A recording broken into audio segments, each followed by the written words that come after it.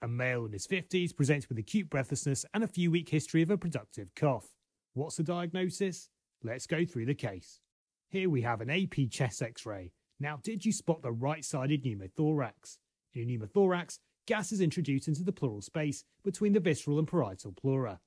On a chest x ray, the pneumothorax will appear more lucent than normal lung with two key features. Number one, a lack of lung markings, and number two, you'll see the more interior visceral pleural layer as a thin white pleural line. This should normally parallel the chest wall. Most commonly, you'll see this at the apex like you can here, whilst in this case we also have a component at the right lung base. When you're dealing with a pneumothorax, you need to assess for mediastinal shift, as this can mean you're dealing with a tension pneumothorax. So look at the trachea and the mediastinum as a whole, and in this case we're okay. Now it's not just the pneumothorax, the underlying lung here is abnormal.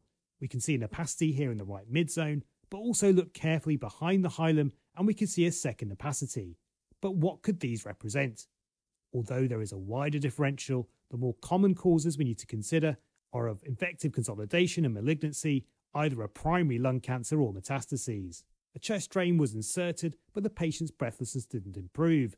Let's have a look at the CT scan. Here is the chest drain, and we can see it lies within the chest wall and not within the pleural space. So no surprise the pneumothorax is still there. Scroll through, and we can see the patient has significant emphysema and a small right pleural effusion, while we can see the two opacities we saw on chest x-ray, one in the apical right lower lobe, this accounts for the lesion we can see behind the hilum, and the second one is here within the right upper lobe.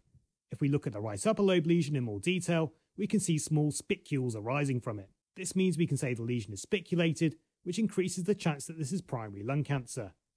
Now the chest drain was replaced with good resolution of the pneumothorax, and this was subsequently removed. Although the inflammatory markers were up, given the appearance of both opacities, a PET CT was performed. This showed FDG avidity within both areas, so at this point we can't rule out that at least one of these lesions was malignant. The patient returned for a follow up CT six weeks later, and although there is still a small pleural effusion, we can see both opacities have almost completely resolved, meaning these were never malignant. So, one of the learning points here is that in patients with significant emphysema, inflammatory lesions can look spiculated, and you literally need to clinically correlate.